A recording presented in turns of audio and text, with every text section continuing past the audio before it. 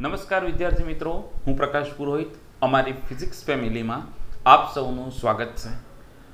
ઘણા દિવસથી છોકરાઓની કોમેન્ટ આવે છે કે, સર, અમને ફિઝિક્સમાં તકલીફ પડે છે. ફિઝિક્સમાં યાદ રહેતું નથી.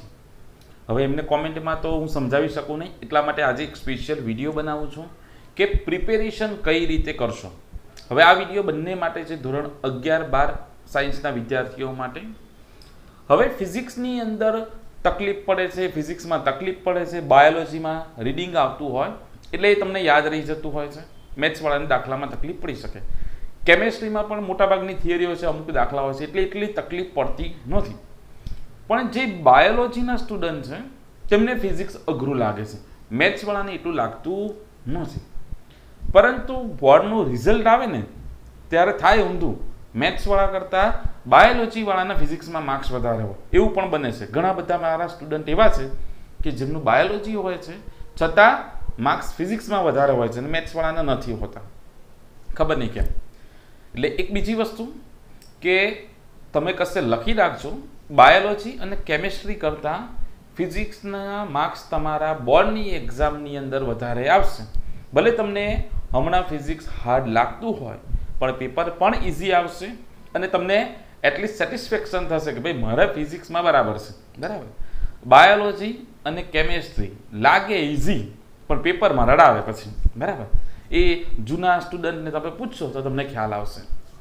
હવે મેઇન રીઝન ફિઝિક્સ કેમ અઘરું લાગે? બાયોલોજીના સ્ટુડન્ટની વાત કરીએ તો એમને વધારે અઘરું લાગતું હોય. એનું કારણ શું? ફિઝિક્સની અંદર શું આવે?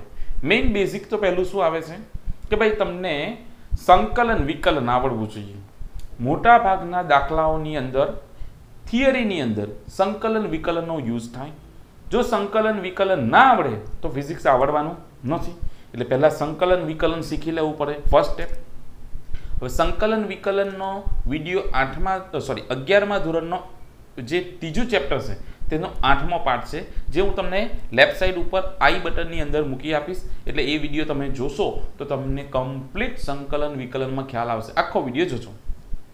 બીજી વસ્તુ કે મોટાભાગના દાખલાઓમાં લોગ ટેબલનો યુઝ કરવામાં આવે. સાઇન થીટા ટેન થીટા જોવા પડે કોસ થીટા પણ જોવા પડે લોગ જોવો પડે એન્ટી લોગ જોવો પડે. એટલે લોગ ટેબલ જોતા આવડવું જોઈએ. એના માટેનો પણ વીડિયો આઈ બેટનમાં ઉપર મૂકીશ. એટલે એના પરથી તમે એ વીડિયો જોશો તો તમને લોક ટેબલ જોતા પણ આવડશે. હવે બીજી વસ્તુ કે ભાઈ પ્રિપેરેશન કઈ રીતે કરવી? તો એક વસ્તુ કહું કે બધા જ સ્ટુડન્ટ કાં તો ઓનલી સ્કૂલ જતા હશે ડે સ્કૂલમાં હશે તો? અને જે ગવર્મેન્ટ સ્કૂલમાં હશે, તે સ્કૂલ અને ટ્યુશન બંને જગ્યાએ જતા હશે. તો તમારે સ્કૂલ અને ટ્યુશનમાંથી કોઈ પણ એક સર ચૂઝ કરવાનો છે, કાં તો સ્કૂલનો કાં તો ટ્યુશનનો કે જેનું ટીચિંગ તમને ફાવે છે. પછી શું કરો? કે ધારો કે હું ફિઝિક્સની વાત કરું કે તમને ટ્યુશનના સર ગમી ગયા, અથવા તો ધારો કે સ્કૂલના સર ગમી ગયા. તો ધારો કે ટ્યુશનના સર તમને ફાવે છે એમનું ફિઝિક્સ તો જ તમે ટ્યુશન જતા હો ને, ના ફાવતું હોય તો તમે બીજે ના જાઓ. સ્કૂલ તો બદલવાની ચોઈસ ના હોય, પણ ટ્યુશનની તો ચોઈસ હોય. એટલે મોટાભાગના સ્ટુડન્ટ એવા હોય કે જેને ટ્યુશનના સરનું ફાવતું હોય. સ્કૂલનું તો ફાવતું હોય તો ટ્યુશન જાય શાના માટે, બરાબર? તો તમે શું કરો કે જે તમને વસ્તુ ટ્યુશનમાં કરાવવામાં આવે, ધારો કે એક કલાકનો તમારો લેક્ચર હોય ટ્યુશનનો. એક કલાકની અંદર સર તમને ધારો કે ચાર દાખલા મેક્સિમમ કરાવે, ત્રણથી ચાર દાખલા, એનાથી વધારે થવાનું નથી. હવે ચાર દાખલા અથવા તો ત્રણ દાખલા કરાવવામાં સર તમને રકમ સમજાવે છે? એક એક ડેટા બોર્ડ ઉપર લખે છે. એ પોતે બોર્ડ ઉપર લખે છે. તમે નોટમાં ઉતારો છો. એક બે વાર સમજાવે છે, બોર્ડ સાફ કરે છે. એ બધો ટાઈમ કન્ઝ્યુમ થાય ને પછી એક કલાકની અંદર ચાર દાખલા એ તમને કરાવે છે અથવા તો ત્રણ કરાવે છે. હવે એ જ દાખલો જો તમારે ઘરે કરવા આવીને એક કલાકનું ટ્યુશનનું વર્ક જો તમારે ઘરે આવીને કરવું હોય તો એમાં તમને મેક્સિમમ ત્રીસથી પાંત્રીસ મિનિટ લાગે. એનાથી વધારે સમય લાગવાનો નથી. કારણ કે તમારે કોઈને બોર્ડ પર સમજાવવાનું નથી. તમારે કંઈ બોર્ડ પર લખીને સાફ કરવાનું નથી કે છોકરાઓ લખે એટલી વાર તમારે ઊભું રહેવાનું નથી. એ બધો ટાઈમ બાદ કરો. તો એક કલાકમાં ટ્યુશનમાં જે વર્ક થયું તે પાંત્રીસ મિનિટની અંદર કે ત્રીસ મિનિટની અંદર થઈ શકે. ઘરે તમે કરો તો. તે જ પ્રમાણે ત્રણ કલાક તમે ટ્યુશન જતા હો ત્રણ સબ્જેક્ટના તે ત્રણ કલાકનું વર્ક ઘરે, દોઢથી બે કલાકમાં મેક્સિમમ બે કલાકની અંદર એ ત્રણ કલાકનું વર્ક તમે કરી શકો ઘરે આવીને. એટલે તમે જે સવારે ટ્યુશનમાં ભણો છો ત્રણ કલાક, તે જ વર્ક ઘરે દોઢથી બે કલાકમાં તમારે રોજે રોજનું કરવાનું. આજે ત્રણે ત્રણ સબ્જેક્ટમાં જે ચાલ્યું, તે ત્રણે ત્રણ સબ્જેક્ટનું આજે મારે કરવાનું, ઓકે? પછી, એટલે બે કલાકનો તમારો ટાઈમ એના માટે કાઢો કે રોજ ચાલે તે રોજ કરવાનું.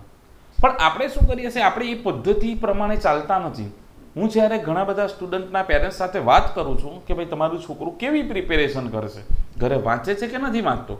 તો દરેક મા બાપ એવું જ કે હા ભાઈ, મારું છોકરું તો વાંચે છે. ચોપડું લઈને તો બેઠેલું જ હોય. જ્યારે જોઈએ ત્યારે ચોપડું જ લઈને બેઠેલું હોય છે. બરાબર? પણ એ શું કરતું હોય છે ને, તે નથી ખબર હોતું. બરાબર? સ્ટુડન્ટની તકલીફ ક્યાં છે, એ કોઈને નથી જાણતું. બરાબર? એ ચોપડું લઈને બેસે બી છે. એ મહેનત પણ કરવાની ટ્રાય કરે છે, પરંતુ એને યાદ રહેતું નથી. એક બીજી વસ્તુ કે સાયન્સ કોમર્સ અને આર્ટ્સ એમાંથી આપણે સાયન્સ લીધું છે ને, તો સાયન્સને બધા હાર્ડ કહે છે. તો કંઈક તો હશે એની અંદર, તો સાયન્સને હાર્ડ કીધું ને. સિત્તેર, એંસી ટકા દસમામાં માર્ક્સ હોય તેને સાયન્સની અંદર એડમિશન મળે. કેમ હોશિયાર છોકરાને જ આપવામાં આવે? કેમ કે એની અંદર તનતોડ મહેનતની જરૂર છે. તમારે વધારે મગજ દોડાવવું પડે.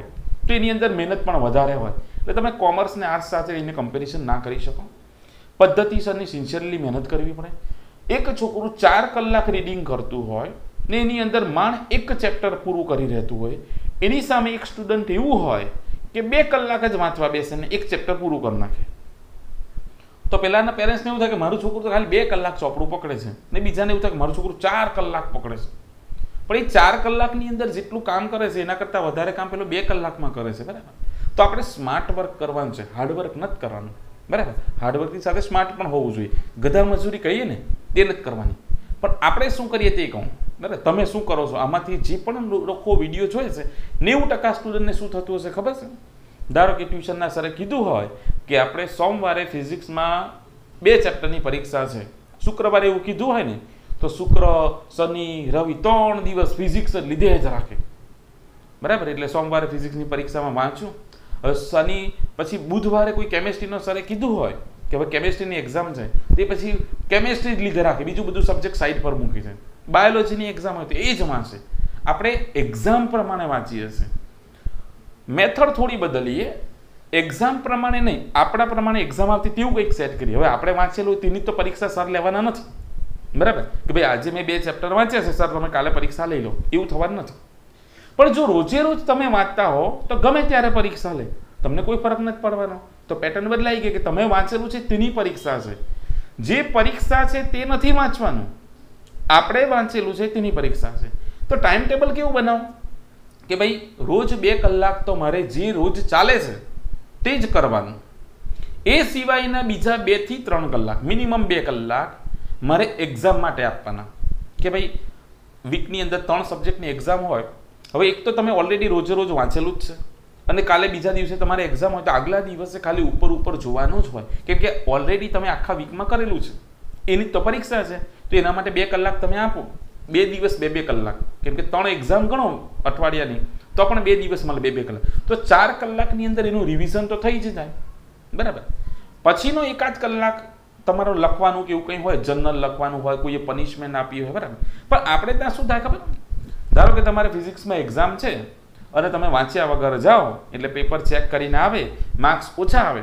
એટલે તમને બે બે વાર, ત્રણ વાર, પાંચ વાર થિયરી લખવા આપી દે બરાબર? કે ભાઈ જેના ઓછા માર્ક્સ છે, તેને પાંચ વાર લખવાની છે. એ પાંચ વાર તમે બે દાડા લખ્યા જ કરો.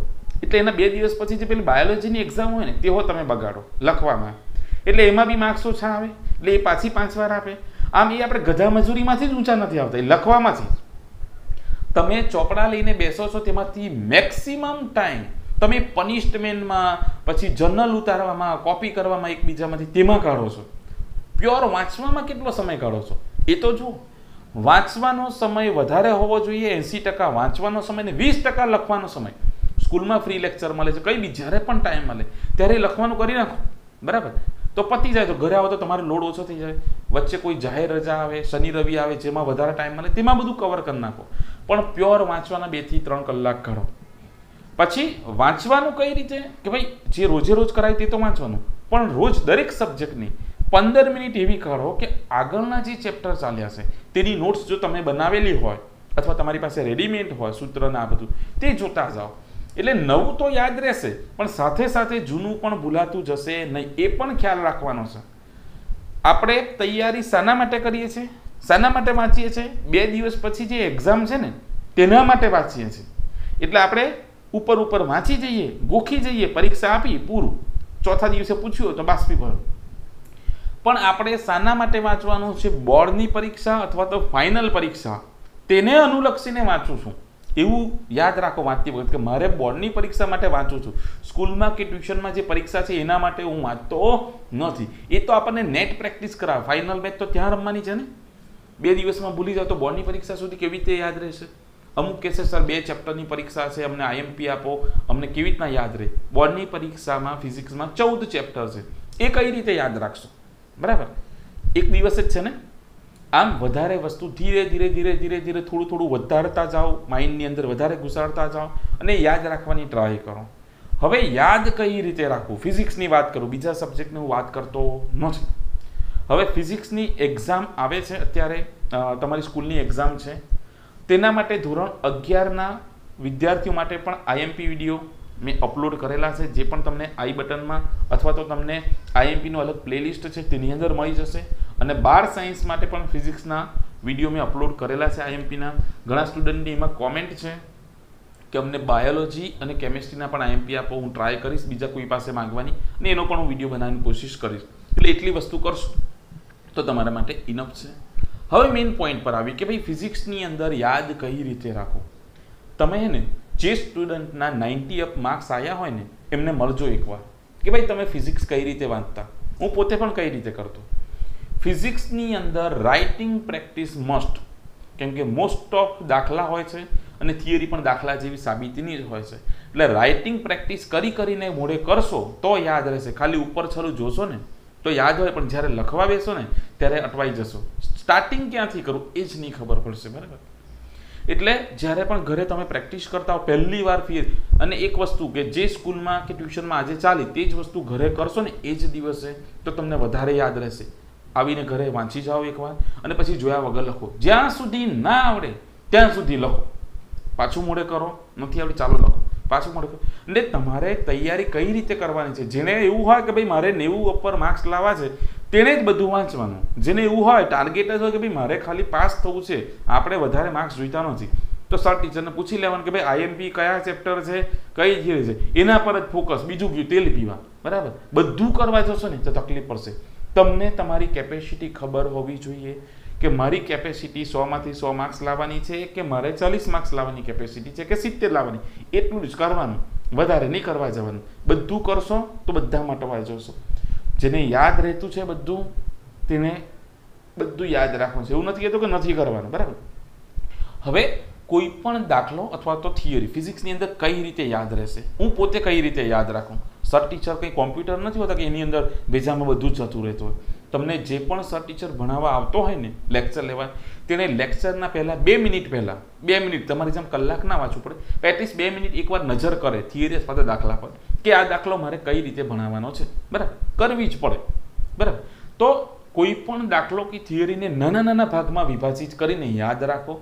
આખી થિયરી યાદ રાખશો ને, તો તમને દુનિયામાં કોઈ દિવસ કોઈ સાહેબ એવો નહીં હશે કે તમને ગોખાવી મારે કે, બરાબર, એવું પણ થવા નથી અને જિંદગીમાં તમને યાદ પણ નહીં રહેશે. સ્ટેપ બાય સ્ટેપ કરો, નાના નાના ભાગમાં વેચો. હવે આપણે હું તમને ધોરણ અગિયારની પણ એક બે થિયરી આપણે એવી લેશું કે જેને કઈ રીતે યાદ રાખવી ટૂંકમાં. અને એ જ પ્રમાણે બારમાની પણ એક બે થિયરી લેશું અને હું તમને સમજાવું કે થિયરી આમ એક બે થિયરીના ઉદાહરણ આપીશ, પછી તમારે જાતે બધી થિયરી બનાવવાની. અને તમારી જે ટેક્સ્ટ બુક છે તેની અંદર પણ સ્વાધ્યાયના દાખલા છે. એની બાજુમાં તમને ખાસી એવી ગેપ આપેલી હોય છે જગ્યા હોય છે વ્હાઇટ બ્લેન્ક એ શાના માટે હોય છે કે તમારે જે પણ કંઈક નોટ કરવું હોય તે બાજુમાં તમે લખી શકો. કે ભાઈ સ્વાધ્યાયનો પહેલો દાખલો છે, તેમાં મેં કયું સૂત્ર યુઝ કર્યું? વી બરાબર વી ઝીરો વત્તા એટી તે સૂત્ર પેન્સિલથી અથવા બોલપેનથી બાજુમાં લખી દો. કે જ્યારે પણ રિવિઝન કરતા ત્યારે ખબર પડે કે આ દાખલો મારે આ રીતે કરવાનો છે. આમ દરેક થિયરી માટે પણ શોર્ટકટ બનાવતા જવું પડે. તમારી પોતાની નોટ્સ બનાવતા જવું પડે વ્યવસ્થિત તૈયારી કરો ને, તો સો ટકા માર્ક્સ આવે. ઉપર છલું જો પણ આપણે શું કરીએ છીએ? કોઈક વાર ટ્યુશનની નોટ મળી તો એમાંથી વાંચી નાખીએ. કોઈક વાર ચોપડી મળી તો એમાંથી વાંચી નાખીએ. રેફરન્સ મળી તો એમાંથી વાંચી નાખીએ. એક વસ્તુ યાદ રાખજો, કોઈ પણ એક થિયરી કે દાખલો, જેટલી પણ એક્ઝામ હોય, સ્કૂલની હોય કે ટ્યુશનની હોય કે બોર્ડની હોય, એક જ જગ્યાએથી વાંચવાની. જો ચોપડીમાંથી વાંચો છો, તો ચોપડીમાંથી જ વાંચવાની. રેફરન્સમાંથી વાંચો છો તો રેફરન્સમાંથી જ વાંચવાની. ટ્યુશનની નોટમાંથી તો ટ્યુશનની નોટમાંથી. કેમ? કેમ કે એક જ નોટમાંથી તમે વાંચેલી હશે ને તો જ્યારે જ્યારે તમે લખશો થિયરી અને જ્યારે એક બે પોઈન્ટ તમને યાદ નહીં આવશે, તમે આંખ બંધ કરો ને, તો પણ યાદ આવે કે આ થિયરી મારી નોટમાં ડાબી બાજુના પેજ પર હતી. એ પૂરી થાય ને જમણી બાજુના પેજ પર બે લીટી હતી, કંઈક બે પોઈન્ટ હતા. પણ અલગ અલગ જગ્યાએથી વાંચશો તો બધાની લેંગ્વેજ અલગ હશે, દરેકના સ્ટેપ અલગ હશે. એટલે કન્ફ્યુઝન થાય છે. કન્ફ્યુઝન આ છે આપણી. એક જ વસ્તુ પકડો રેફરન્સ તો રેફરન્સ ચોપડી તો ચોપડી અને નોટ તો નોટ આખું વર્ષ એ જ વાંચવાનું. એવું નહીં કે ભાઈ રેફરન્સ તો બધા ચેપ્ટર એમાંથી તમે પહેલું ચેપ્ટર રેફરન્સમાંથી વાંચ્યું છે, આખું વર્ષ એમાંથી જ વાંચો. બીજું ચેપ્ટર રેફરન્સમાં બરાબર નથી નોટમાં બરાબર છે. તો બીજું ચેપ્ટર આખું નોટમાંથી વાંચો. અથવા એક બે થિયરી નોટમાં પણ બરાબર નથી. રેફરન્સમાં બરાબર. તો રેફરન્સમાંથી નોટમાં લખી કાઢો. એટલે આખું ચેપ્ટર કમ્પ્લીટ થઈ જાય. એટલે જે ચેપ્ટર રેફરન્સમાંથી ફાવે તે રેફરન્સમાંથી જે નોટમાંથી ફાવે તે નોટમાંથી અને આખું વર્ષ એમાંથી જ વાંચવાનું ઓકે ચાલો, હવે આપણે એક બે થિયરી અને દાખલા એવા જોઈએ કે જેને તમે કઈ રીતે સિમ્પ્લિફાય કરી અને યાદ રાખી શકો, બરાબર? અને એ જ પ્રમાણે તમે જાતે બીજી થિયરી પણ તમારા માઇન્ડ પ્રમાણે તમને જે રીતે યાદ રહેતી તે રીતે તમે કરી શકો ઓકે ચાલો, જોઈએ. હવે આપણે જોઈએ કે તમે કોઈ પણ થિયરીને કે દાખલાને કઈ રીતે ઇઝી બનાવી શકો. પહેલાં આપણે ધોરણ અગિયારથી સ્ટાર્ટ કરીએ. કે ભાઈ ધોરણ અગિયારની અંદર પ્રક્ષિપ્ત ગતિની એક થિયરી છે અને એ સો ટકા ફર્સ્ટ એક્ઝામની અંદર પૂછાવાની છે. તો એ પ્રક્ષિપ્ત ગતિની થિયરી બહુ લોંગ છે, બરાબર? તો મેં એને તમે કઈ રીતે યાદ રાખશો કે ભાઈ પ્રક્ષિપ્ત ગતિની થિયરી સ્ટાર્ટ કરો એટલે મારે છ વસ્તુ શોધવાની છે. પ્રક્ષિપ્ત ગતિનું સમીકરણ છે, મહત્તમ ઊંચાઈનો સમય. એમાંથી કોઈ પણ શોધવું હોય તો મારે શું કરવું પડે? પ્રારંભિક બધી વસ્તુ જોઈએ કે ભાઈ પ્રારંભિક સ્થાન શું છે? ટી સમય સ્થાન શું છે? તો પાંચ વસ્તુ પહેલાં શોધી જ કાઢવાની. આકૃતિ ડ્રો કરી અને પહેલી પાંચ વસ્તુ કઈ શોધવાની? કે ભાઈ પ્રારંભિક સ્થાન આર ઝીરો સદીશ. પછી પ્રારંભિક વેગ વી ઝીરો સદીશ. પ્રવેગ એ સદીશ. ટી સમયે સ્થાન આર સદીશ અને ટી સમયે વેગ વી સદીશ. આ પાંચે પાંચ વસ્તુ લાઇનની અંદર શોધી કાઢો. આર ઝીરો વી ઝીરો એ આર અને વી પ્રારંભિક સ્થાન, પ્રારંભિક વેગ, પ્રવેગ. ટી સમય સ્થાન ટી સમય વેગ. એ દરેકના બે બે ઘટક લઈ લો. એક્સ ઘટક અને વાય ઘટક. આનો એક્સ ઘટક આવે એક્સ ઝીરો બરાબર ઝીરો વાય ઘટક વાય ઝીરો બરાબર ઝીરો વી ઝીરોના બે ઘટક. વી ઝીરો એક્સ બરાબર મૂલ્ય ગુણ્યા cos theta v zero y બરાબર મૂલ્ય ગુણ્યા સાઇન થીટા એ જ રીતે પ્રવેગના બે ઘટક આવે, એક્સ ઘટક ઝીરો અને વાય ઘટક માઇનસ જી તે પ્રમાણે અંતિમ સ્થાનના બે ઘટક, એક્સ બરાબર x zero plus v zero x t plus one half a x into t square. તે જ પ્રમાણે વાય ઘટક અને ઉપરનામાંથી આ વી ઝીરો એક્સ છે, એક્સ ઝીરો એ એક્સ, એ બધાની કિંમત મૂકતા જાઓ. તે જ પ્રમાણે વાયનું સૂત્ર બનશે. પછી અંતિમ વેગના પણ બે ઘટક મળે. વી બરાબર વી ઝીરો પ્લસ એટી એના પરથી એક્સ ઘટક હોય તો આ પણ એક્સ અને આ પણ એક્સ વાય ઘટક હોય તો વી સૂત્ર આપણું શું છે? વી બરાબર v zero plus a t તો વાય ઘટક હોય તો અહીંયા પણ વાય અહીંયા પણ વાય અને અહીંયા પણ વાય આ રીતે આ દસ વસ્તુ શોધી કરો આ પાંચ દરેકના બે બે ઘટક દસ. એટલે દરેકના બે બે કરો એટલે દસ થઈ જશે. હવે એના પરથી તમારે શું શોધવાનું છે? છ વસ્તુ શોધવાની છે આપણે. પહેલાં એ સૂત્ર છે એ છે, ખબર હોવા જોઈએ કે ભાઈ મારે ગતિનું સમીકરણ શોધવાનું છે વાય બરાબર સમથિંગ આવે છે. મહત્તમ ઊંચાઈ માટે લાગતો સમય ટીએમ મહત્તમ ઊંચાઈ એચ પછી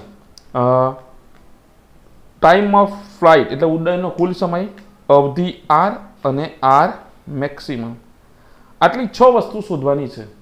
તો ગતિનું સમીકરણ કઈ રીતે શોધવાનું? કે ટી સમયે સ્થાન નું જે સૂત્ર હતું એક્સ અને વાયનું તો એક્સના સૂત્રમાંથી ટીની કિંમત વાયના સૂત્રમાં મૂકી દેવાની. એક્સનું સૂત્ર હતું ટી સમય સ્થાન માટે આરના જે બે ઘટક હતા ને આરના બે ઘટક એક્સ અને વાય એક્સ બરાબર એક્સ ઝીરો સમથિંગ સૂત્ર હતું.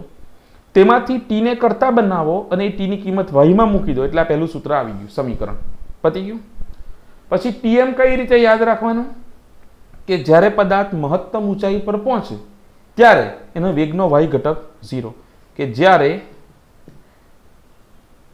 મહત્તમ ઊંચાઈ પર એટલે ટી બરાબર ટીએમ થાય, ત્યારે વેગનો વાય ઘટક બરાબર ઝીરો એટલે વેગના વાય ઘટકનું જે સૂત્ર હતું, તેમાં તમારે વાય ઘટક ઝીરો મૂકી દો અને ટી બરાબર શું કરી દો? ટીએમ પછી ટીએમને કરતા બનાવી દો. મહત્તમ ઊંચાઈ, હવે આ મહત્તમ ઊંચાઈ કઈ દિશામાં? વાય દિશામાં કાપે ને? એટલે વાયનું સૂત્ર. વાયના સૂત્રમાં જ્યારે સમય મહત્તમ ઊંચાઈ જેટલો થાય, ત્યારે ઊંચાઈ પણ કેવી થઈ જાય? મહત્તમ. એટલે કે જ્યારે ટી બરાબર ટીએમ ત્યારે વાય બરાબર એચ પતી ગયું. વાયના સૂત્રમાં ટી બરાબર ટીએમની કિંમત મૂકો અને વાય બરાબર શું બની જાય? એચ ઉડ્ડયનનો કુલ સમય.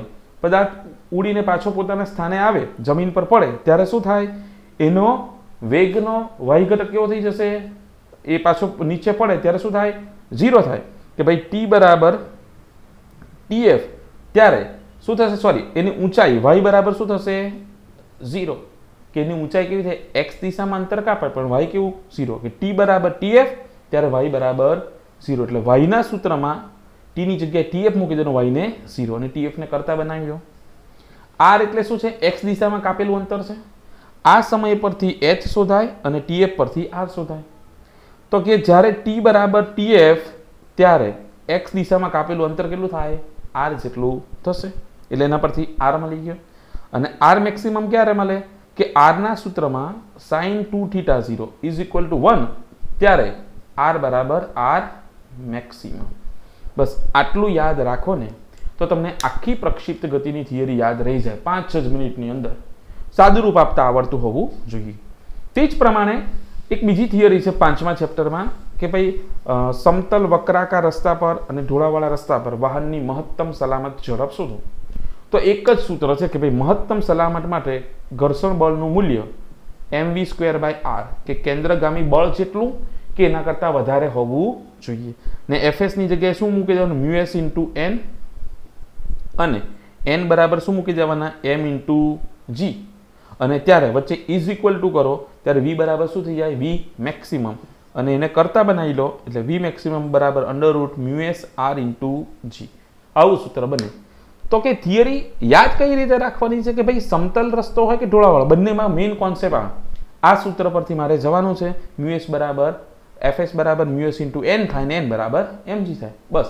પછી તો તમને આગળ પાછળનું થોડું ઘણું તો આવડી જાય. હવે બારમા ધોરણની વાત કરીએ, તો બારમા ધોરણની અંદર ફર્સ્ટ ચેપ્ટરની અંદર થિયરી છે કે વિદ્યુત ડાયપોલના લીધે ડાયપોલની અક્ષ પરના કોઈ બિંદુ આગળ, અહીંયા પી બિંદુ છે, તે બિંદુ આગળ ઉદ્ભવતું વિદ્યુત ક્ષેત્ર શોધો. એનું સૂત્ર મેળવો. હવે મારે પી બિંદુ આગળ કુલ વિદ્યુત ક્ષેત્ર કઈ રીતે યાદ રાખવાનું? કે પી બિંદુ આગળનું કુલ વિદ્યુત ક્ષેત્ર એટલે ધન વિદ્યુત ભારનું વિદ્યુત ક્ષેત્ર અને ઋણ વિદ્યુત ભારનું વિદ્યુત ક્ષેત્રનો સરવાળો કરવાનો. સંપાતપણાનો સિદ્ધાંત. સંપાતપણાના સિદ્ધાંત મુજબ કોઈ પણ બિંદુ આગળ કુલ વિદ્યુત ક્ષેત્ર એટલે જેટલા પણ વિદ્યુત ક્ષેત્ર હોય એ બધાનો સદિશ સરવાળો. તો મારે ધન માટેનું વિદ્યુત ક્ષેત્ર શોધવાનું, ઋણનું શોધવાનું અને એ બધાની કિંમત આની અંદર બંનેને મૂકી દેવાની. એટલે મારો જવાબ મળી જાય. સાદું રૂપ જ આપવાનું છે. ઈનું સૂત્ર ખબર હોવું જોઈએ. ઈ બરાબર k q by r square પણ આર એટલે અંતર, કે ભાઈ આ અહીંયા હતું, તો આ બાજુ એ, આ બાજુ એ અને આ કેન્દ્રથી અંતર કેટલું છે? આર છે. તો પ્લસ ક્યુ વિદ્યુતભારથી આનું અંતર કેટલું થાય? આ આર વત્તા એ તો નીચે શું આવે? આર પ્લસ એ નો વર્ગ. પછી અહીંયા સદિશ કરો એટલે એની દિશા. ધન વિદ્યુતભાર તો બહાર તરફ જતી, એટલે વિદ્યુતભારથી દૂરની દિશામાં. માઇનસ ક્યુથી પ્લસ એટલે પીની દિશા ડાબી તરફ હોય તો પીની વિરુદ્ધ દિશામાં પીની દિશામાં. જે આવતી તે દિશા તમારે લખવાની. તે જ પ્રમાણે માઇનસ ક્યુ વિદ્યુત ભાર હોય તો તેનું અંતર શોધવું હોય તો આરમાંથી એ બાદ કરવા પડે. એટલે એના સૂત્રમાં k q by r minus a no square. એવું આવશે. અને ક્યુની જગ્યાએ શું કરી દેવાનું? માઇનસ ક્યુ મૂકો તો ચાલે. અથવા તો અહીંયા તમે પી કેરેટની જે દિશા મૂકો, બરાબર? કે કઈ દિશામાં છે તેના પરથી પણ તમે અહીંયા કાં તો અહીંયા માઇનસ મૂકો અથવા તો અહીંયા પી કેરેટમાં મૂકો, બરાબર? આ પ્રમાણે પ્લસ ક્યુનું વિદ્યુત ક્ષેત્ર શોધો માઇનસ ક્યુનું સદીશ સ્વરૂપે શોધો અને એ બંનેની કિંમત અહીંયા મૂકી અને સાદુરૂપ તમારે આપવાનું છે.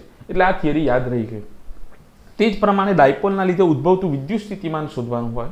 તો કે ભાઈ કુલ વિદ્યુત સ્થિતિમાન એટલે ધન વિદ્યુતભારનું વિદ્યુત સ્થિતિમાન વત્તા ઋણ વિદ્યુતભારનું વિદ્યુત સ્થિતિમાન વી બરાબર કે ક્યુ બાય આર ધન વિદ્યુતભાર માટે પ્લસ ક્યુ લેવાના, ઋણ માટે માઇનસ ક્યુ લેવાના, એનું સાદુરૂપ આપો. તો પછી તમને આવડે. આ રીતે ટૂંકમાં યાદ રાખવાની દરેક થિયરી જેમ કે, સમાંતર પ્લેટ કેપેસિટર છે. તેનું કેપેસિટન્સનું સૂત્ર મેળવો. સી બરાબર ક્યુ બાય વી હવે છેલ્લું સૂત્ર તો આપણને યાદ હોય, આટલા બધા દાખલા કર્યા હોય ને, તો સી બરાબર ક્યુ બાય વી આવે. અથવા તો આપણે, હા મેઇન સૂત્ર શું છે? સી બરાબર ક્યુ બાય વી અને સમાંતર પ્લેટનું સૂત્ર, epsilon zero a by d એ મારે સાબિત કરવાનું છે.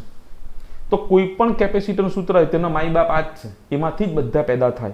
સમાંતર પ્લેટનું કેપેસિટરનું સૂત્ર શોધો, ગોળાકાર કેપેસિટરનું કેપેસિટર સૂત્ર શોધો, નળાકાર શોધો, બરાબર? ગમે તે શોધો. તો સી બરાબર ક્યુ બાય વી એટલે મારે ક્યુ અને વીની જરૂર પડે. તો સમાંતર પ્લેટ કેપેસિટરની થિયરીની શરૂઆતમાં જ આપણે કહીએ છીએ કે ભાઈ એક પ્લેટ પર પ્લસ ક્યુ વિદ્યુત ભાર છે, બીજા પર માઇનસ ક્યુ છે, એટલે વી શોધવાનું થાય. અને વી બરાબર શું થાય? ઈ ઇન્ટુ ડી વિદ્યુત ક્ષેત્ર ગુણ્યા બે પ્લેટ વચ્ચેનું વિદ્યુત ક્ષેત્ર ગુણ્યા બે પ્લેટ વચ્ચેનું અંતર. એટલે આ સૂત્ર શોધવું હોય તો મારે વીની જરૂર પડે. વી બરાબર ઈ ઇન્ટુ ડી એટલે મારે ઈની જરૂર પડે. એટલે મારે પહેલાં ઈ શોધી લેવાના. ઈ ક્યાં ક્યાં શોધવાના? બે પ્લેટ હોય તો બે પ્લેટ આ ધન પ્લેટ છે, આ ઋણ પ્લેટ તો ધન પ્લેટની ઉપર તરફ ઈ શોધવાના એટલે ઈ ઝીરો આવે. ઋણ પ્લેટની નીચે તરફ ઈ શોધો એટલે એ પણ ઝીરો આવે અને વચ્ચેના ભાગમાં ઈ બરાબર સિગ્મા બાય એપ્સિલોન ઝીરો. અને આ ઈ એ પ્લસનું વિદ્યુત ક્ષેત્ર અને માઇનસનું વિદ્યુત ક્ષેત્ર પ્લસનું વિદ્યુત ક્ષેત્ર sigma by two epsilon zero, માઇનસનું, minus પ્લેટનું sigma by two epsilon zero, એ બંનેનો સરવાળો કરો, તે સિગ્મા બાય એપ્સિલોન. એટલે પહેલાં ઈ શોધી લો આ રીતે. ઈની કિંમત આમાં મૂકો એટલે વી મળે ને વીની કિંમત આની અંદર મૂકો એટલે તમને આ સૂત્ર મળશે. સી બરાબર epsilon zero a by d આમ કોઈ પણ થિયરીને તમારે તમારી રીતે નાના નાના ભાગમાં વેચવાની છે. ભાઈ, આટલું થિયરીની બાજુમાં લખી દો ને, તો થિયરી યાદ રહી ગઈ છે આના માટે વી શોધવાનો વી માટે ઈ તમારે શરૂઆત ઊંધી કરવાની કે પહેલાં ઈ શોધું, એના પરથી વી મળશે ને વી પરથી આ. દાખલાની અંદર પણ જે છેલ્લી વસ્તુ શોધવાની તેનું સૂત્ર લખો. એના માટે કોની કોની જરૂર પડશે? તે નીચે લખતા જાઓ. અને એ પ્રમાણે ઊંધોથી ચાલુ કરો, ઊંધું શોધો. તો તમને કોઈ પણ દાખલો અથવા તો થિયરી યાદ રહેશે. એવું જરૂર નથી કે દરેક દાખલા અને થિયરીમાં આવું થાય, પણ મોટા ભાગના દાખલા અને થિયરીમાં આવું તમે કરી શકો. તો તમારું ખાસું એવું કામ ઓછું થઈ જાય અને મગજનો લોડ પણ ઓછો થઈ જશે. ઓકે ચલો, બીજી કોઈ પણ મારાથી હેલ્પ બનશે તો હું તમને કરીશ. ઓકે